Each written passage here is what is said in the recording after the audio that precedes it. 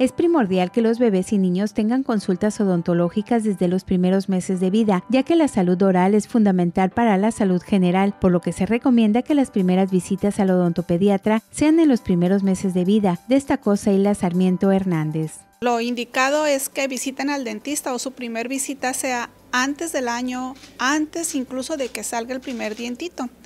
Y esto con la finalidad de educar a los padres sobre el cuidado que se deben de tener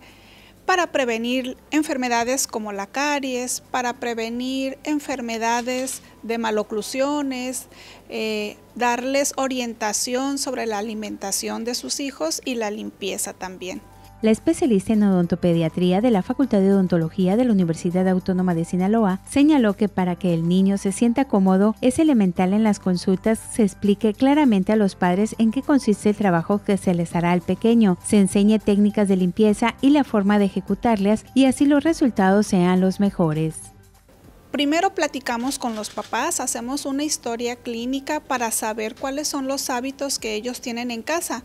tanto de higiene, como de alimentación. Y en cuanto encontramos algún eh, punto de alerta para nosotros, damos orientación para que se cambien esos hábitos nocivos por, hábitos, eh, vaya, de, de cuidado para los niños y para ellos, o sea, para la familia en general.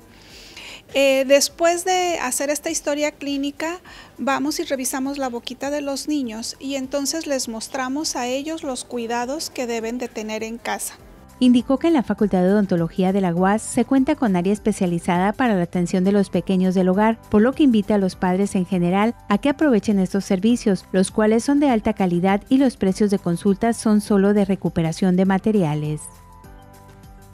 Universidad Autónoma de Sinaloa